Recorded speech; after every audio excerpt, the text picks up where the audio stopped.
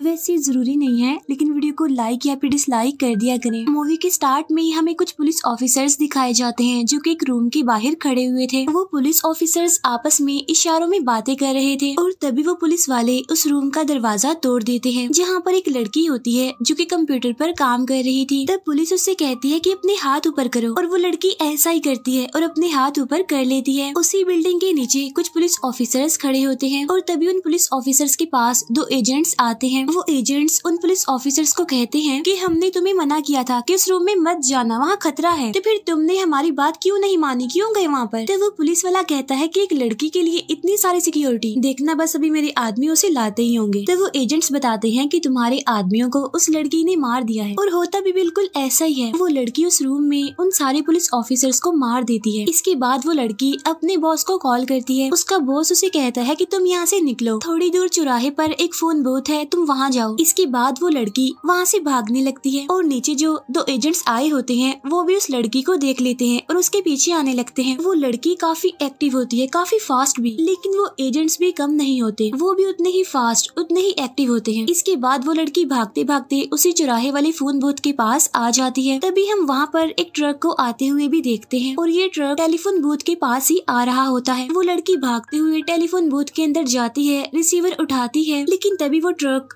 Telephone booth को उड़ा देता है। इसके बाद उस ट्रक से वही एजेंट्स निकलते हैं और जब वो टेलीफोन बूथ की तरफ़ देखते हैं तो वहाँ पर कोई नहीं होता और वो कहते हैं कि वो तो यहाँ से निकल गई। लेकिन यहाँ पर असल में वो एक लड़के को ढूंढ रहे थे, जिसका नाम न्यू था। इसके बाद हमें न्यू दिखाया जाता है, जो की एक हैकर होता है और वो अपने कंप्यूटर के पास सो रहा होता है। तभी उसके कंप्यूटर में मैसेज आता है, उठ जाओ न्यू। और जब न्यू ये मैसेज पढ़ता है तो उसके पास एक और मैसेज आता है और वो मैसेज था कि, व्हाइट खरगोश का पीछा करो। तब ये देखकर न्यू हैरान था कि ये मैसेज कहाँ से आ रहे हैं और कौन कर रहा है? और ठीक उसी टाइम उसे एक और मैसेज आता है दरवाजे पर। और इस मैसेज के फ़ौरन बाद दरवाजे पर कोई नॉक करता है और जब न्यू चेक करने के लिए बाहर जाता है तो वहाँ पर उसके कुछ फ्रेंड्स थे जो कि न्यू से एक सॉफ्टवेयर खरीदने आए थे। तब न्यू पैसे लेकर उन्हें वो सॉफ्टवेयर दे देता है। न्यू के फ्रेंड्स उससे कहते हैं कि तुम हमारे साथ चलो, बहुत मज़ा आएगा देखना। लेकिन न्यू उनके साथ जाने के लिए इनकार कर देता है। लेकिन तभी न्यू देखता है कि उनके साथ जो लड़की आई होती है, उसके शोल्डर पर व्हाइट खरगोश का टैटू बना होता है। तब ये देखकर न्यू कहता है कि ठीक है, मैं तुम्हारे साथ चलता हूँ। इसके बाद न्यू उनके साथ चला जाता है। इसके बाद वो लोग एक क्लब में जाते हैं, जहाँ पर न्यू अकेला ही खड़ा होता है। लेकिन तभी न्यू के पास वही लड़की आती है, जिसे हमने मूवी के स्टार्ट में भी देखा था। यानी जिसने उन पुलिस ऑफिसर्स को मारा था। और इस लड़की का नाम होता है ट्रिनिटी ट्रिनिटी न्यू को कहती है हेलो न्यू। तब न्यू से पूछता है, क्या तुम मुझे जानती हो? तब वो कहती है हाँ मैं तुम्हारे बारे में सब कुछ जानती हूँ। और मैं ये भी जानती हूँ कि तुम यहाँ पर किसी को ढूँढने आए हो। असल में तुम्हें तुम्हारे सवालों के जवाबों की तलाश है और तुम अच्छे से जानते हो कि तुम्हारा सवाल क्या है। तब न्यू उससे अपना सवाल पूछता है कि ये मैजिक क्या होता है। तब वो कहती है कि इसका जवाब तुम्हें मिल जाएगा। एक आदमी मोर्फियस है जो तुम्हें ढूंढ रहा है और बहुत जल्द वो तुम्हें ढूंढ भी लेगा। इसके बाद नेक्स्ट डे न्यू जब ऑफ़िस जाता है तो उसका एक पार्सल आता है। उस पार्सल के अंदर एक मोबाइल फ़ोन होता है। जैसे ही न्यू उस मोबाइल को निकालता है तो उस पर रिंग होती है। तब न्यू फ़ोन उठाकर हेलो बोलता है। तब आगे से भी आवाज़ आती है। हेलो न्यू क्या तुम जानती हो मैं कौन हूँ? जिस पर न्यू कहता है हाँ मॉर्फियस ना? जिस पर वो कहता है हाँ मैं मॉर्फियस हूँ बिल्कुल सही पहचाना तुमने। वो न्यू को कहता है कि मैं तुम्हें काफ़ी टाइम से ढूंढ रहा था और तुम एक सुपर नेचुरल पावर हो, लेकिन अनलकीली हमारे पास टाइम बहुत ही कम है। वो न्यू को कहता है कि तुम्हारे आसपास खतरा भी है, जिसे चाहे तो तुम उठकर देख सकते हो। और जब न्यू देखता है तो वहाँ पर तीन एजेंट्स होते हैं, और ये वही एजेंट्स थे, जिन्होंने ट्रिनिटी पर भी अटैक किया था। न्यू से पूछता है कि ये मुझसे क्या चाहते हैं? जिस पर मोर्फियस कहता है कि ये तो मैं नहीं जानता, लेकिन वो तुम्हारे साथ बहुत बुरा ट्रीट करेंगे। और अगर तुम यहाँ से निकलना चाहते हो तो मेरी बात मानो।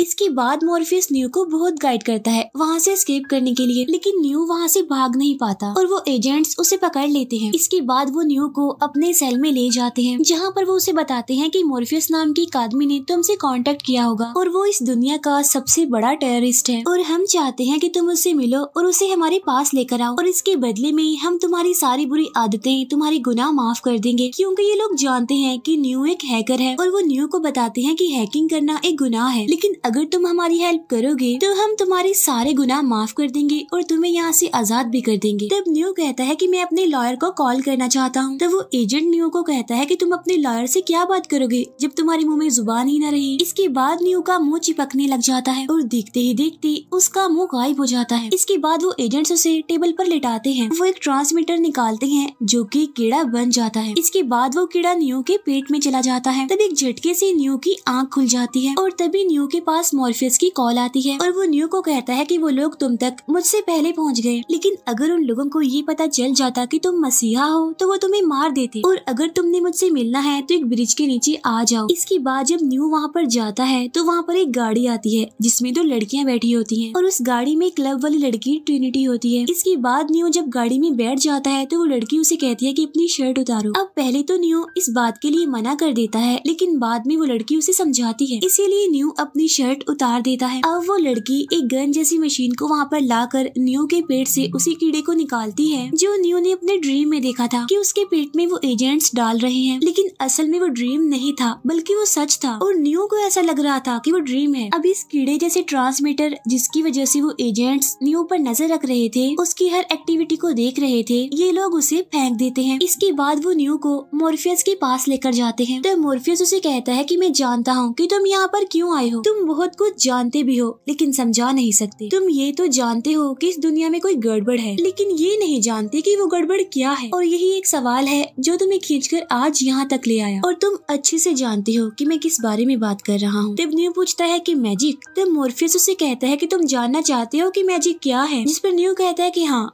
अब बताओ। तब मोर्फियस उसे कहता है कि ये पूरी दुनिया ही मैजिक है, लेकिन तुमसे इस दुनिया की सच्चाई छुपाई जा रही है। तब न्यू कहता है कि कौन सी सच्चाई? तब मोर्फियस कहता है कि अनलकीली मैजिक को कभी समझा ही नहीं जा सकता, बल्कि इसे तुम्हें खुद समझना होता है। इसके बाद मोर्फियस उसे दो गोलियाँ दिखाता है, एक ब्लू कलर की और एक रेड कलर की। वो न्यू को कहता है की अगर तुमने नीली गोली खाई तो तुम अपनी दुनिया में, अपनी ज़िंदगी में वापिस चले जाओगे, और तुम्हें मैजिक का मतलब कभी भी नहीं पता चल पाएगा। लेकिन अगर तुमने रेड गोली खाई तो तुम सच्चाई की बहुत करीब पहुँच जाओगे। और तब यहाँ पर न्यू रेड वाली गोली खाता है। इसके बाद मोर्फियस उसे दूसरे रूम में लेकर जाता है, जहाँ पर बहुत सारी मशीन होती है। असल में ये उनका ऑपरेटिंग रूम होता है। इसके बाद वो न्यू की बॉडी में बहुत सारे सेंसर्स लगा देते हैं। यहाँ पर मोर्फियस उसे बताता है की जो रेड गोली तुमने खाई है, वो असल में कंप्यूटर का एक प्रोग्राम है, जो तुम्हारी हेल्प करेगा तुम्हें तुम्हारी रियल बॉडी के अंदर वापस लाने में। तब न्यू पूछता है कि इसका क्या मतलब है? तब मोर्फियस कहता है कि इसका मतलब तुम कुछ ही देर तक समझ जाओगे। अब न्यू के पास में ही एक शीशा होता है जो कि मेल्ट हो रहा होता है और जब न्यू उस शीशे को हाथ लगाता है तो वो पूरी तरह मेल्ट होकर न्यू की बॉडी पर चढ़ जाता है और ऐसा होते ही न्यू बेहोश हो जाता है। इसके बाद हम देखते हैं कि सेम न्यू जैसा ही इंसान कहीं और जागता है, जिसे काफ़ी बड़े प्लास्टिक के बैग में बंद किया होता है और उस प्लास्टिक बैग में बहुत सारा लिक्विड होता है और इस इंसान की पूरी बॉडी में वायर्स लगे हुए हैं और जब वो अपने आसपास देखता है तो उस जैसे और भी बहुत सारे लोग वहाँ पर मौजूद होते हैं। यानी वो भी प्लास्टिक के बैग्स में बंद होते हैं और लिक्विड में डूबे होते हैं। इसके बाद एक फ्लाइंग मशीन वहाँ पर आकर उसकी सारी वायर्स निकाल देती है। इसके बाद कोई बैग को नीचे से खोलता है और वो पानी में गिर जाता है। और तभी कोई वहाँ पर आकर उसे अपने साथ ले जाता है। और जब उसकी आँख खुलती है तो उसके आसपास मोर्फियस और उसके टीम के लोग होते हैं। तो वो पूछता है, क्या मैं ज़िंदा हूँ? जिस पर वो कहते हैं कि हाँ। तुम पूरी तरह से ज़िंदा हो। तो वो पूछता है कि मेरी आँखें क्यों जल रही हैं? जिस पर वो कहते हैं कि फ़र्स्ट टाइम खुली है ना, इसलिए। तुम्हारी बॉडी अभी कमज़ोर है। तुम आराम करो, हम बाद में बात करेंगे। इसके बाद नियो बिल्कुल ठीक हो जाता है और वो मोर्फियस के पास जाता है। यहाँ पर मोर्फियस उससे कहता है की तुम जानना चाहते थे ना की मैजिक क्या है? तब न्यू कहता है की हाँ। तब मोर्फियस उसे कहता है की ठीक है, चलो मेरे साथ। इसके बाद वो न्यू को एक चेयर पर बिठाता है और उसका ब्रेन एक कंप्यूटर प्रोग्राम के साथ कनेक्ट कर देता है। इसके बाद न्यू खुद उस कंप्यूटर प्रोग्राम के अंदर चला जाता है और वहाँ पर मोरफिस भी होता है। यहाँ पर मोरफिस उसे बताता है कि ये खास किस्म का कंप्यूटर प्रोग्राम है और इसकी मदद से हम दिमाग में कुछ भी डाल सकते हैं, लाइक कोई भी ड्रेसिंग, ट्रेनिंग वेपन सब कुछ। तब न्यू उससे पूछता है, क्या हम सच में कंप्यूटर प्रोग्राम में हैं? तब मोर्फिस उसे कहता है कि हाँ तुम्हें यकीन नहीं आ रहा क्या? अपने कपड़े देखो, अपने बाल देखो, अपना चेहरा देखो, सब कुछ तो चेंज है। मोर्फिस उसे कहता है कि, तुम उस दुनिया को जानते हो जो ट्वेंटी सेंचुरी में थी, लेकिन अब ये एक इमेजिनरी वर्ल्ड है और इसी दुनिया को हम कहते हैं मैजिक और आज तक तुम ड्रीम्स की दुनिया में जीते आए हो। आज की दुनिया तो ये है। ये कहकर वो उसे स्क्रीन पर एक दुनिया दिखाता है, जो कि काफ़ी डार्क होती है। मॉर्फियस उसे कहता है कि जो असली दुनिया है, जो हकीकत की दुनिया है, वो ये है। और आज तक तुम जिस दुनिया में थे, वो ड्रीम्स की दुनिया थी। हकीकत की दुनिया नहीं थी। मोर्फियस कहता है कि हमारे पास जो इन्फॉर्मेशन है, उसके मुताबिक ट्वेंटी फ़र्स्ट सेंचुरी में इंसानों ने इंटेलिजेंट कंप्यूटर बनाए थे। और उन कंप्यूटर्स में ये एबिलिटी थी कि वो खुद ही सोच सकते थे। और उनमें से एक कंप्यूटर ने अपनी पूरी आर्मी बना ली और बाद में इंसानों के साथ वॉर की। अब इस वॉर में कंप्यूटर्स जीत तो गए, लेकिन उन्होंने हमेशा के लिए सूरज को खो दिया। यानी उस वॉर के बाद सन कभी भी ज़मीन पर नहीं आया। लेकिन मशीन को तो एनर्जी हासिल करने के लिए सूरज की रोशनी की ज़रूरत थी और मशीन ये जानती थी की इंसान की बॉडी इतनी हीट पैदा कर सकती है जो सूरज की कमी को पूरा कर सकता है। और फिर मशीन ने अपनी एनर्जी की कमी को पूरा करने के लिए इंसानों को ही उगाना शुरू कर दिया। और यहाँ पर इंसानों के बड़े बड़े खेत बनाए गए, जहाँ पर फ़सलें नहीं, इंसान उगाए जाने लगे। और ये खतरनाक सीन मैंने भी अपनी आँखों से देखा है। अब ये सीन न्यू भी देख चुका था। यानी उस टाइम जब न्यू की आँख खुली थी उस बैग में। लेकिन उसे कुछ भी समझ नहीं आया था। यहाँ पर मोरफिस की कहने का मतलब ये था कि इस दुनिया में जितनी भी मशीन हैं, वो सारी बहुत ही पावरफुल हैं और इंटेलिजेंट भी। जो इंसानों का यूज़ करती हैं खुद को ज़िंदा रखने के लिए एनर्जी हासिल करने के लिए। इसीलिए वो इंसानों को उगाती है, जहाँ पर वो इंसानों को पैदा करती है। जहाँ पर इंसान ज़िंदा तो होता है, लेकिन कोई भी होश में नहीं होता, बल्कि वो सारे के सारे एक स्लीपिंग चैम्बर में होते हैं। और इन इंसानों का खाना ये होता है कि जो इंसान मर जाते हैं, उन्हें मेल्ट करके पाइप्स के थ्रू उन इंसानों को खिलाते हैं जो स्लीपिंग चैम्बर में होते हैं। यहाँ पर न्यूज़ से पूछता है कि ये मैजिक क्या है? तो मोर्फिस कहते हैं कि मैजिक भी एक कंप्यूटर प्रोग्राम है और ये प्रोग्राम मशीन ने इंसानों के लिए ही बनाया है, ताकि वो इंसानों को अपने कंट्रोल में कर सके, क्योंकि वो ड्रीम्स की दुनिया है, न की हकीकत की। ये सुनकर न्यू कहता है की मुझे यकीन नहीं होता, जिस पर मोर्फिस कहता है की हाँ मैं जानता हूँ, लेकिन सच्चाई तो यही है। और इस सच्चाई को तुम्हें एक्सेप्ट करना पड़ेगा। ये सारी बातें सुनकर न्यू का दिमाग घूम जाता है। वो कहता है कि जल्दी से मुझे इस कंप्यूटर प्रोग्राम से बाहर निकालो। तब बाहर आने के बाद न्यू कहता है कि मुझे तुम्हारी बातों पर यकीन नहीं है। और ये कहते ही न्यू बेहोश हो जाता है। लेकिन जब उसको होश आती है तो उसके सामने मोर्फियस होता है। तब न्यू से कहता है कि, मोर्फियस, अगर तुम मुझे ये सारी बातें ना बताते तो अच्छा होता। तब मोर्फियस उसे कहता है कि, वाकई, क्या तुम मैजिक से बाहर नहीं निकलना चाहते? तब इस बात का न्यू कोई जवाब नहीं देता। यहाँ पर मोर्फियस उसे कहता है कि आज तक जिस ड्रीम की दुनिया में तुम जीते आए हो, वो ट्वेंटी सेंचुरी की दुनिया है। लेकिन हकीकत में हम ट्वेंटी सेकेंड सेंचुरी में है। इसके बाद वो न्यू को ये भी बताता है कि जब मैजिक पैदा हुआ था, तब उसी के साथ एक ऐसा इंसान भी पैदा हुआ था, जिसके अंदर बहुत सारी ग्रेट और सुपर नेचुरल पावर्स थी। और आज जो कुछ हम कर रहे हैं, ये सब कुछ उसी ने शुरू किया था। और उसके अंदर मैजिक को कंट्रोल करने की बहुत सारी पावर्स भी थी। और वो हमें इस मैजिक से आज़ाद भी करवा सकता था, लेकिन वो मर गया। तब उसके मरने के बाद ओरिकल ने ये प्रिडिक्शन दी कि वो पावर्स रखने वाला मसीहा दोबारा पैदा होगा और वो इस मैजिक को डिस्ट्रॉय करेगा। वो वॉर को रुकवाएगा और हमें इस मैजिक से आज़ाद भी करवाएगा। इसीलिए तो हम बार बार मैजिक में जाते थे, ताकि हम उस पावर्स रखने वाले मसीहा को ढूंढ सके। लेकिन आज हमारी तलाश खत्म हो गई है, क्योंकि वो पावर्स रखने वाला मसीहा कोई और नहीं, बल्कि तुम हो न्यू। इसके बाद वो न्यू के ब्रेन को एक कंप्यूटर से कनेक्ट करते हैं और उसके दिमाग में फाइटिंग की सारी इन्फॉर्मेशन डाल देते हैं। और अब न्यू को फाइटिंग के बहुत अच्छे अच्छे स्किल्स आते थे। इसके बाद न्यू मोर्फियस के साथ एक कंप्यूटर प्रोग्राम में जाता है और वहाँ फाइटिंग की प्रैक्टिस चल रही थी न्यू और मोर्फियस की। इसके बाद मोर्फियस एक बिल्डिंग से दूसरी बिल्डिंग पर जंप लगाता है, जो कि काफ़ी दूर होती है। और यहाँ वो न्यू को कहता है कि तुम भी ऐसा करो। तब न्यू से पूछता है, क्या मैं ऐसा कर पाऊँगा? जिस पर वो कहता है कि हाँ। तुम्हें खुद पर यकीन होना चाहिए। लेकिन जब न्यू ऐसा करता है तो वो जंप नहीं लगा पाता और ज़मीन पर गिर जाता है। लेकिन जब उसे होश आती है तो उसकी नाक से खून आ रहा था। तब खून देखकर न्यू कहता है कि मुझे तो लगा था कि वो एक इमेजिनरी वर्ल्ड है।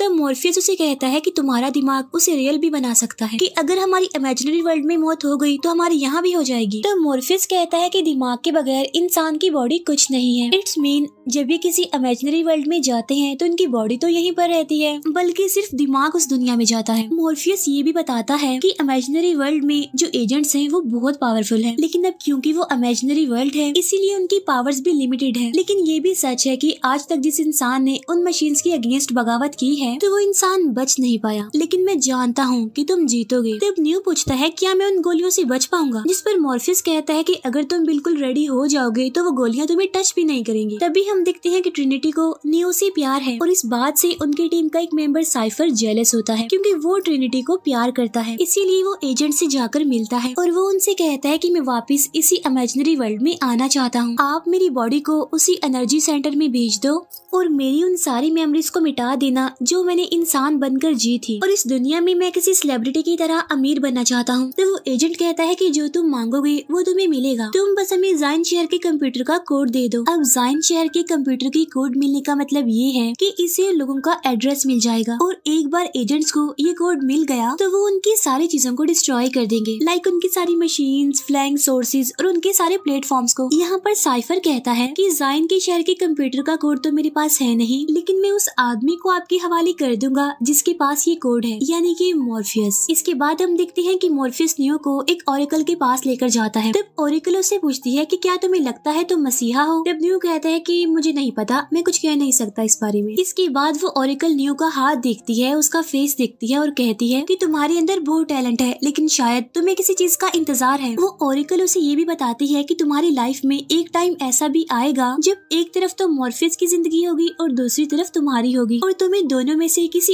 एक की ज़िंदगी को चूज़ करना पड़ेगा। इसके बाद न्यू और उसकी टीम वापस अपनी जगह पर जाने लगते हैं। यहाँ पर वो लोग एक बिल्डिंग से होकर गुजर रहे होते हैं, लेकिन तभी न्यू को एक काली बिल्ली दिखाई देती है, और जब न्यू आगे जाता है तो वो देखता है कि सेम वैसी ही बिल्ली उसी तरीके से आई है। तब ये बात न्यू अपनी टीम को बताता है कि अभी मैंने एक बिल्ली को आते हुए देखा और जब वो बिल्ली चली गई तो सेम उसी तरीके से एक दूसरी बिल्ली भी आई। तो वो लोग समझ जाते हैं कि यहाँ पर ज़रूर कोई गड़बड़ है और यहाँ पर गड़बड़ की थी साइफर ने। असल में जब वो लोग ओरिकल के पास गए थे तो साइफर ने जानबूझकर अपना मोबाइल डस्टबिन में फेंक दिया था ताकि एजेंट्स को उनका पता चल जाए, क्योंकि आखिर वो भी तो मोर्फियस की टीम में ही था। और जब उन्हें उनका पता चल जाता तो वो इस पूरी बिल्डिंग को ही मैजिक बना देते। यानी ये सब कुछ साइफर उन्हें फंसाने के लिए कर रहा था।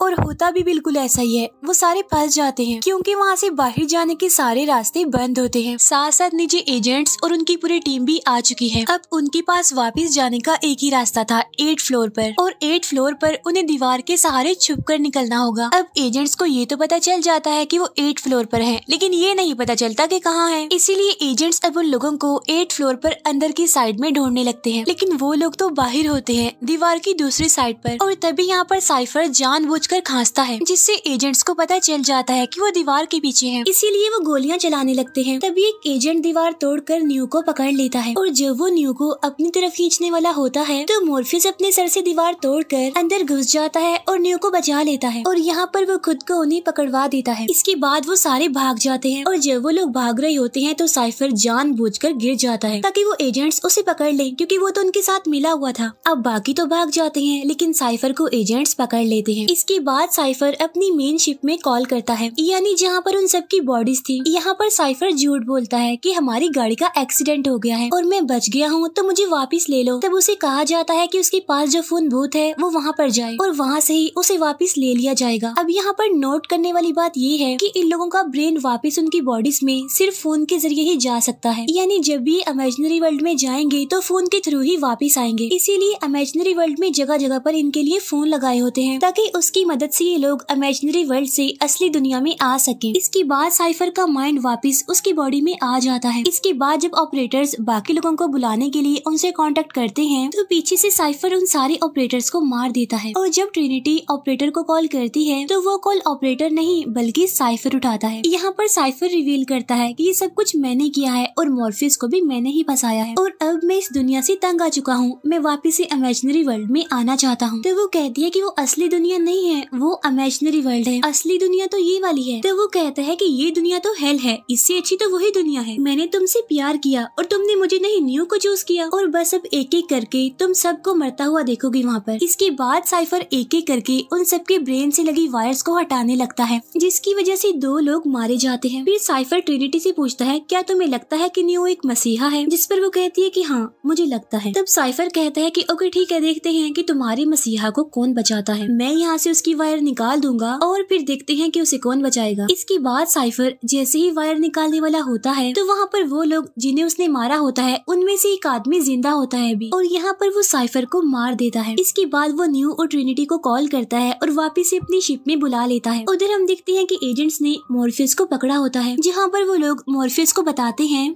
कि जो दुनिया हमने पहले बनाई थी, वो जन्नत की दुनिया थी। वहाँ पर खुशियाँ ही खुशियाँ थी। लेकिन जो हमने इंसानों की फ़सल उगाई थी, वो सारी बर्बाद होने लगी। क्योंकि जन्नत की दुनिया में इंसान जागने की कोशिश करता था। इसके बाद हमने दूसरी एक ऐसी दुनिया बनाई, जहाँ पर दुख भी थे, तकलीफें भी थी और हर वो चीज़ थी, जिसका इंसान आदि है। अब क्योंकि ये सारी चीज़ें इंसान चाहता है, इसीलिए हमें दूसरी दुनिया बनानी पड़ी। अब ये एजेंट्स किसी भी कीमत पर मॉर्फियस से जायन शहर के कंप्यूटर का कोड जाना चाहते थे। एक बार उन्हें ये कोड मिल गया तो ये उन लोगों के स्पेसशिप और पूरे जायन शहर को डिस्ट्रॉय कर देंगे। जायन शहर आज भी अर्थ के सेंटर में है, जहाँ पर इंसान रहते हैं। अब ये सारी तो मशीन है, इस बारे में इसीलिए उन्हें कुछ नहीं पता। इसीलिए तो वो जायन शहर का कोड जानना चाहते हैं, ताकि वो जायन शहर के साथ साथ इंसानों को भी खत्म कर दे। लेकिन मॉर्फियस उन्हें वो कोड कभी भी नहीं देगा, चाहे उसकी जान ही क्यों न चली जाए। इसीलिए वो मॉर्फिस को एक इंजेक्शन लगाते हैं, जिससे उसकी बॉडी आहिस्ता आहिस्ता स्लो हो जाएगी, जिसके बाद मॉर्फियस खुद ही वो कोड उन्हें बता देगा। अब ये बात मॉर्फियस की पूरी टीम को भी पता होती है, क्योंकि वो मॉर्फियस के दिमाग की सारी एक्टिविटीज़ कंप्यूटर पर देख सकते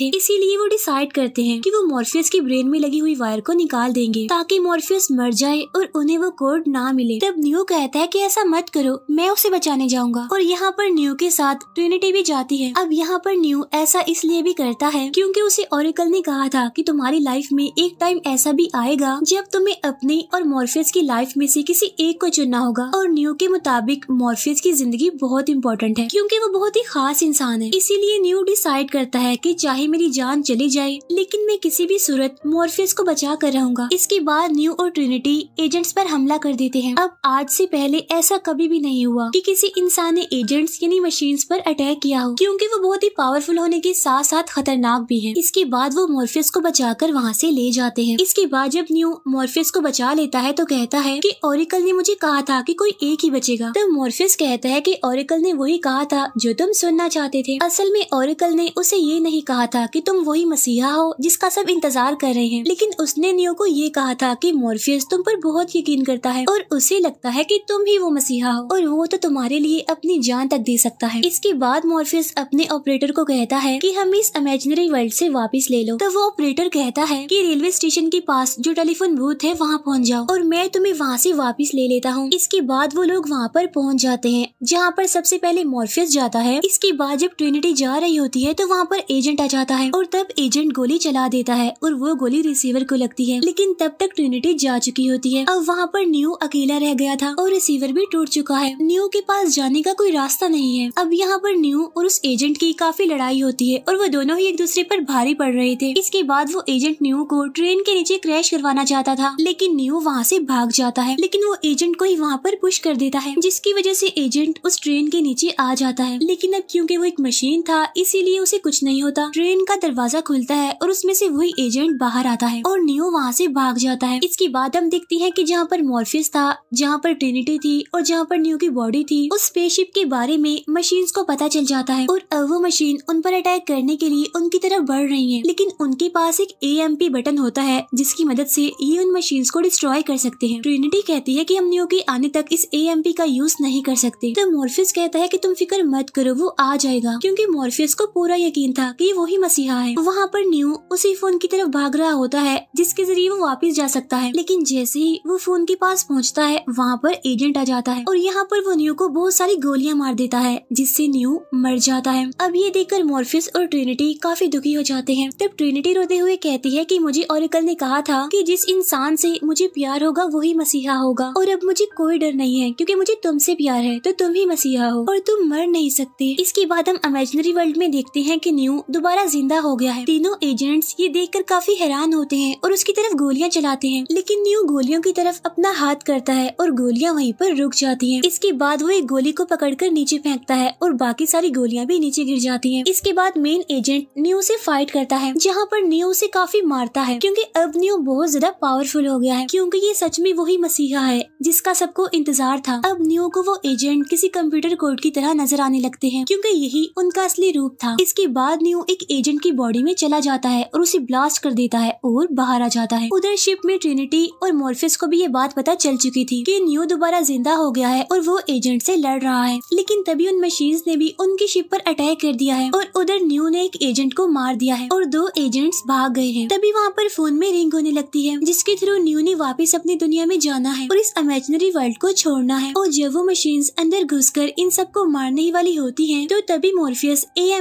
बटन को प्रेस कर देता है और तब वहाँ न्यू भी फ़ोन उठा लेता है और अपनी दुनिया में वापिस आ जाता है।